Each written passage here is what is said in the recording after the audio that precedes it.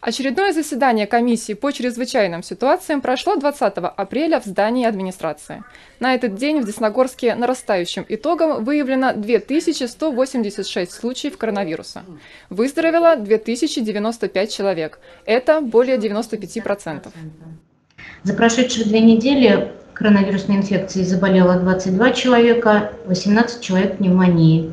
В основном болеют взрослые, из 30 коек ковидного отделения МСЧ 19 занято пациентами, 9 из которых с коронавирусом.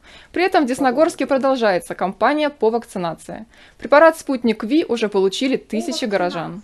На утро у нас вакцинировано первым компонентом 4437 человек, соответственно 3317 а, вторым компонентом. Всего вакцины было поставлено на сегодняшний момент 7175 доз. В целом, сотрудники медицинской части оценивают текущую эпидемиологическую ситуацию как спокойную. Карантинные мероприятия проводятся незначительные. Один класс на вынужденных каникулах до 21 апреля в первой школе, а также одна группа детей в детском саду.